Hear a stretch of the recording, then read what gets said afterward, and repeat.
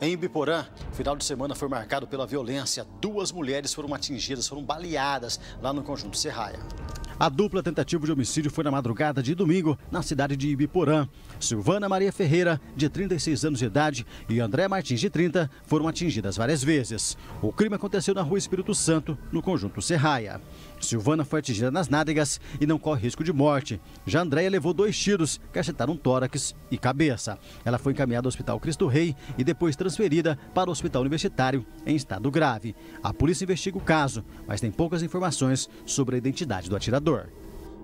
O delegado da cidade de Ibiporã já começou o trabalho de investigação e esta semana a gente vai estar lá gravando com o condutor para ver se ele tem mais detalhes a respeito então desta dupla tentativa de homicídio. Só a informação de que um rapaz encapuzado se aproximou das vítimas e já foi efetuando os disparos. O porquê do crime não se tem muita informação ainda, mas a Polícia Civil está investigando.